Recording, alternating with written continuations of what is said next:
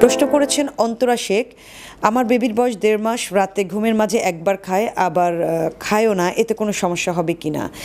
দেড় মাসের একটি বাচ্চা যদি পারফেক্ট ওয়েট নিয়ে সে জন্মগ্রহণ করে, সারাদিনে আটবার সে ফিডিং করবে, সেটা সারা দিন মিলে। অর্থাৎ আটবার আপনাকে দিতে হবে হাইস্ট আপনি টেন টাইমস দিতে পারেন। ওভারনাইট ফিডিং দিতেই হবে, এমন কোনো কথা নেই। না খেলেও কোনো অসুবিধা নেই। নিজেকে দিয়ে চিন্তা করতে হবে, আমরা যখন রেস্টে চলে যাই, তখন কিন্তু আমরা রাত বারোটার পরে আর খাই না।